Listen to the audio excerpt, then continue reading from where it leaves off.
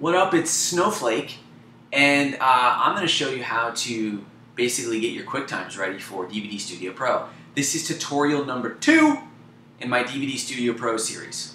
Okay? So, what we're going to do is the last tutorial I showed you how to take your HD video and turn it into an SD video. Okay, SD QuickTime. Now we're going to take that SD QuickTime that you made, that you had, that you got, the result of that, we're going to take that and turn it into a DVD file so that it's ready for DVD Studio Pro. So first thing we're going to do is we're going to open up compressor, okay, and then we're going to go find your SD uh, QuickTimes, which I exported over here in my SD folder, and I'm going to highlight all these QuickTimes, and I'm going to drag them and drop them right there. Cool. Now, in compressor, there are already pre-made settings, and in the Apple folder, and then the DVD folder, yes, you'll see that there's all these different DVD settings.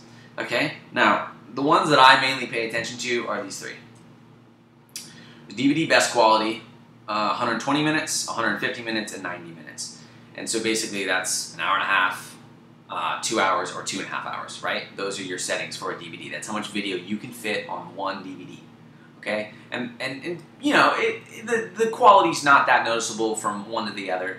I mean, if you really looking close, you can tell, you know, but um, I tend to stick with the 90 minute uh, if I can get away with it. Otherwise, I think 120 minute is fine. Uh, I don't use 150 minute as much because it is a little bit lower quality, but hey, you know, you might not be able to tell the difference, so give it a shot, okay? But for this one, it's only a 10 minute DVD, so I'm going to use 90 minutes because that's plenty of space. All right, so uh, I'm gonna go here. Now there's two settings in here, and you're gonna highlight both of them. All right, by hitting click and then shift, click, right, okay, click on both. All right, and what that is, is the DVD files are broken into two files, one for video and one for audio. That's it. For a DVD file, that's how they're broken up. It's not together like a QuickTime. There's two different files. So you gotta drag both of them over onto your compressor, uh, onto your videos in compressor. Okay? Then we're gonna highlight them.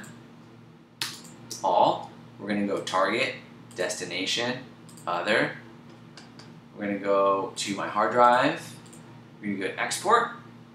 And I have a folder called DVD. We're going to hit open.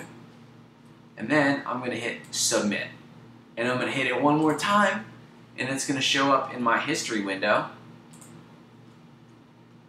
And you can see that it has started the exporting process. And so what this is doing is it's taking my standard definition QuickTimes and compressing them to DVD files. Now you may be asking yourself, Snowflake, like why couldn't I just take my HD QuickTimes and throw them in there and do that? Well, you could. I'm not saying you can't. Uh, I have just found that the quality is better if you take an HD QuickTime, turn it into an SD QuickTime, and then turn that SD QuickTime into a DVD file. That's been my experience. So I hope this tutorial was helpful. Okay, that was video number two of my DVD Studio Pro series. Uh, if it was helpful, make sure to like the video and then like comment in it, whatever, you know, say anything, I don't care. And then subscribe, that'd be awesome. If you could subscribe, that'd be cool too. Then check back later for more tutorials and tips. Final Cut Pro, Apple Motion, Compressor, DVD Studio Pro, and check back later for the next video in this series. Because there's gonna be another one. Yes.